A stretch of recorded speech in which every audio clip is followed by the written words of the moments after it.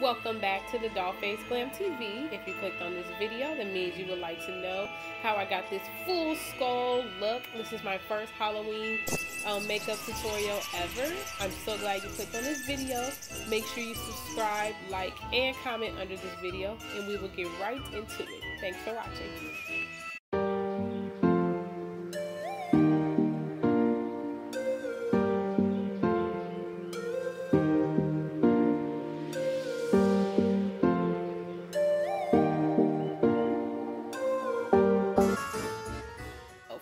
Part, I moisturize my face. Um, you all already know what moisturizer I use. I will tag in the description below. I'm going to start off with a very clean, makeup-free face. And I'm going to go in with my one of my foundation brush, just a clean one. And I'm going to go in with some white paint. The white paint I'll be using is from Walmart. I will tag it in the description below and in the video. But um, honestly, the paint that... Actually, I'm not going to tag it because the paint actually was getting on my nerves. Because as you can see, it was very, very sheer and it kept moving around. So it was really giving me a hard time. Like I probably would have finished this look faster than I did if the paint wasn't so sheer. But as you can see, like I did one coat and then I started doing another coat. So it started working out like afterwards. It was still moving around, which I didn't like.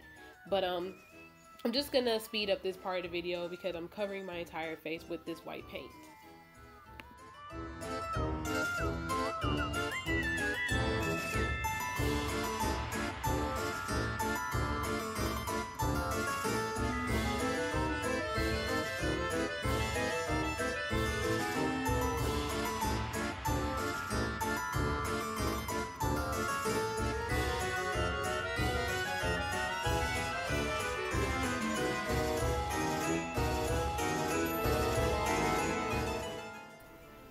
So I'm done um, painting my face. Um, as you can see, the blotches are still like kind of there because this paint was just so terrible. But I'm using my powder contour palette and I'm going to use a foundation brush or a powder brush and I'm going to add some dimension and life into my face and I, I wanted to use a white powder to try to cover up some of these blotches but I didn't have one at the time so I'm just going to do this instead and y'all this this white paint it was just smearing. It was just so terrible. Like please don't go get this paint. Please don't. Like I, I made it work though. Y'all gonna see at the end. So now I'm going to go in with my Warrior 2 palette and I'm going to go in with that black shade and I'm going to start carving out the eyes, nose, and my mouth. Um, to do this, you could just get a picture off of Google and just trace it and use that as your guide because that's what I did. Um, I will post a picture in the video of the picture that I was using. Um, you can really just use any picture you want. It doesn't have to be perfect your first go around because I am going to be filling it in with eyeshadow and some black paint. So I'm just going to do that now.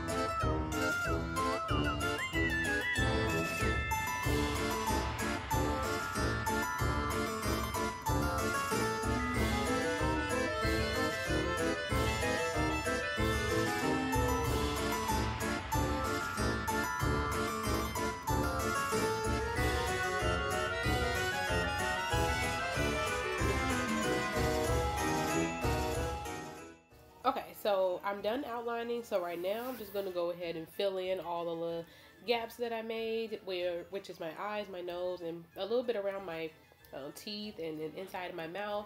I couldn't find my black paint at this moment, so I just started filling it in with the eyeshadow. I would have, if you copy this look, make sure you have black paint because the eyeshadow is just, it took me such a long time. Like I would have been done a long time ago if I just had my black paint. But I'm just going to go ahead and do that.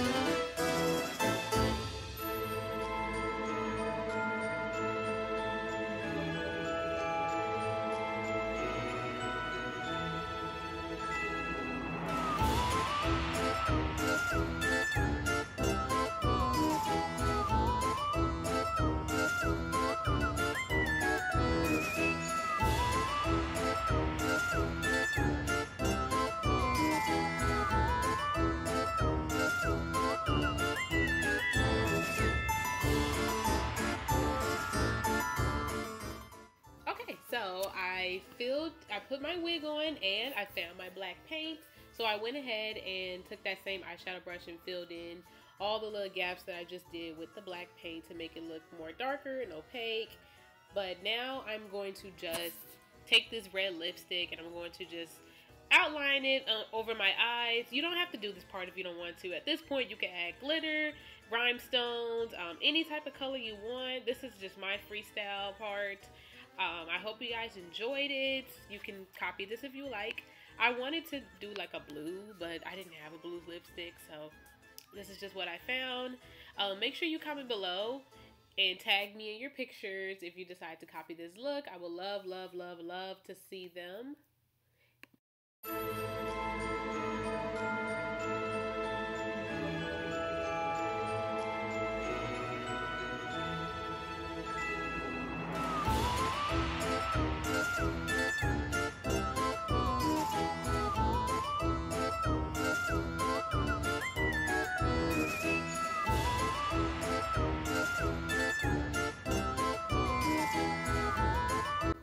So for right here, I'm taking some blood that I got from Walmart, and I'm going to just be patching that all over my neck, over that um, little those little breaks I made, and I'm going to be using a beauty blender to splash that on. I didn't, I blended in a little bit, and then I'm going to add it to my face too, just to give it a lot, a little more extra dimension, you know, life to it.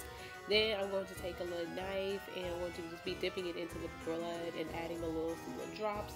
This part, um, I liked, but it kind of got annoying because it kept getting all over my shirt, and uh, it's just I don't know. I just really it was really annoying. But I like how it came out, and you know, it looked like I was bleeding from my neck. I loved it. But that will be the end of this video.